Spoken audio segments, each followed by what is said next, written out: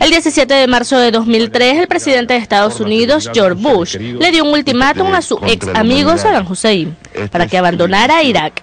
Ello siguió a reiteradas amenazas de Washington contra Bagdad y la ONU. 19 de marzo de 2003, 5 y 40 de la madrugada. Sonaron las sirenas en Bagdad anunciando el ataque. Tres minutos después, estallaron misiles sobre el sur de Bagdad, arrojados por la flota norteamericana desde el Golfo Pérsico. En media hora cayó medio centenar de proyectiles a los que Estados Unidos llamó Operación Decapitación, cuyo fin era liquidar a Saddam. El ataque sin aval de la ONU fue condenado en casi todo el mundo. Dos días después empezó la ofensiva terrestre por el sur. Buscaban controlar el puerto petrolero de Umskars y Basora, la segunda ciudad más importante de ese país. Para argumentar la presencia de tropas invasoras en Irak, el entonces presidente de Estados Unidos presentó tres supuestas razones para ir a la guerra.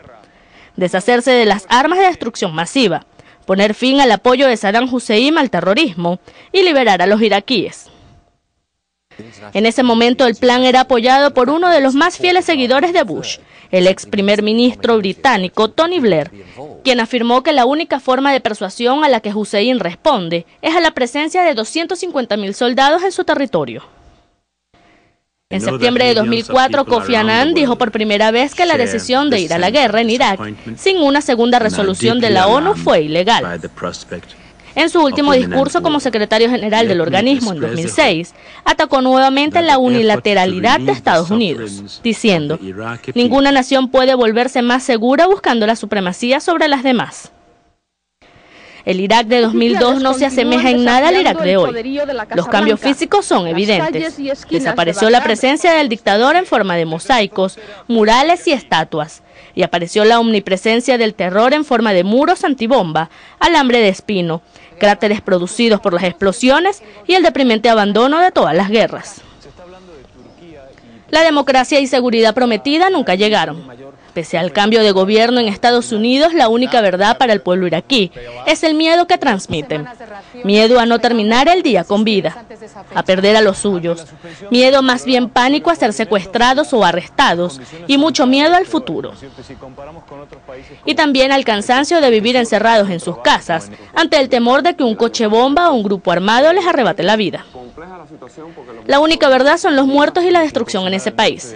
En el último mes de febrero, al menos 258 personas murieron, lo que supone un aumento de la mortalidad por causas violentas del 35% respecto al mes anterior, donde se produjeron 211 víctimas mortales.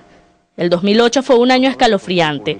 Unas 6.772 iraquíes, entre hombres, mujeres y niños, fueron asesinados.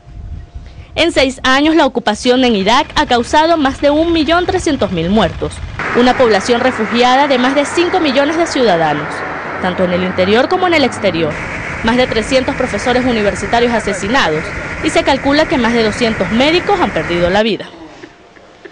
Mientras se aclama a Obama desde todos los rincones del mundo por su decisión de cerrar Guantánamo, en Irak hay un número desconocido de desaparecidos, y un número no confirmado de detenidos en cárceles estadounidenses en territorio iraquí, que sufren torturas, abusos, maltratos físicos y psicológicos.